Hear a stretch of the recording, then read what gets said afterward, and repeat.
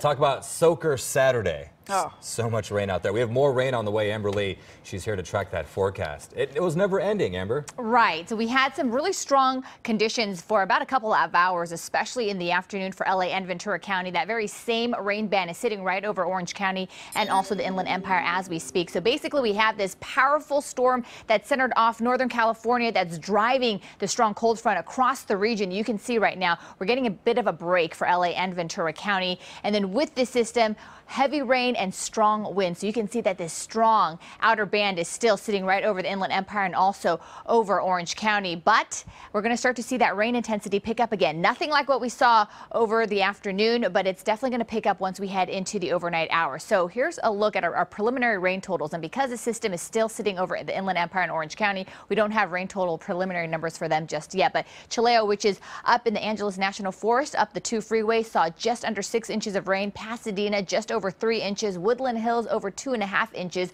Agoura Hills just over two inches. Same with Beverly Hills and then Whittier just over an inch and a half of rain. We still have watches. We still have warnings all in place. You can see it is lit up. We have a lot of colors here. So we had the flash flood watch up until about 4 a.m. on Sunday for LA and Ventura County. And then it stays up until about midnight for portions of Riverside County. And then you can see up in the mountains, we're expecting more snow from the system. So snow levels expected to get down to as low as 5,000 feet tonight in some spots. And then we also have some really strong winds picking up through the Antelope Valley and also through the Apple and Lucerne Valley. So storm number two, this is the one that we talked about since uh, last week, saying that this was going to provide us with some of the intense and heavy rain, and that's exactly what it did. Storm number three, right behind it, should be moving in by late tomorrow night and staying with us till Monday and also Tuesday. The rain intensity probably not as bad as what we saw this afternoon, but it's definitely going to bring us these lingering showers as we head into the beginning of the week, and then we finally start to dry up once we head into Wednesday. So from now until Tuesday, if you can hold off, we're still dealing with the lingering showers